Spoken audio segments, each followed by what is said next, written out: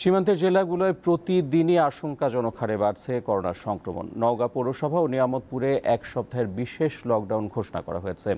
এদিকে খুলদা মহানগরীর তিনটি থানা এলাকায় সাত দিনের কঠোর বিধিনিষেধ আরোপ করা হয়েছে।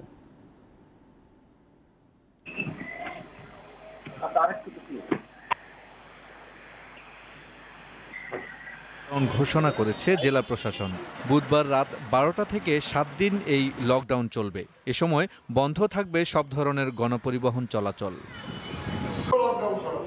এদিকে চার জুন থেকে খুলনা সদর, সোনাডাঙ্গা ও খালিশপুর থানা এলাকায় এক সপ্তাহের কঠোর বিধিনিষেধ আরোপ করা হয়েছে।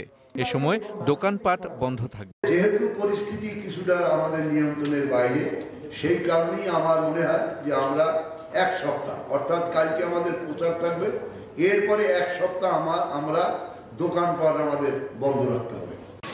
এক সপ্তাহের ব্যবধানে চুয়াডাঙ্গার দামুড়হুদা উপজেলায় সীমান্তবর্তী গ্রামগুলোতে একান্ন জন করোনায় আক্রান্ত হয়েছে।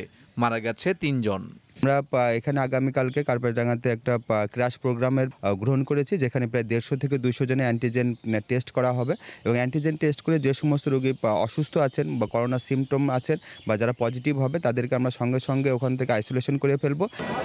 রাজশাহী মেডিকেলে করোনা সংক্রমণ ও উপসর্গ নিয়ে আরও সাতজন মারা গেছে। নাটোরে গত চব্বিশ ঘন্টায় আক্রান্তের হার শতকরা তিপ্পান্ন ভাগ। এদিকে করোনা ভাইরাসের ভারতীয় ধরন ঠেকাতে সীমান্তে অবৈধ পারাপার বন্ধে সাতক্ষীরায় নজরদারি বাড়িয়েছে বিজিবি। আফসার উদ্দিন দীপ্ত বার্তা কক্ষ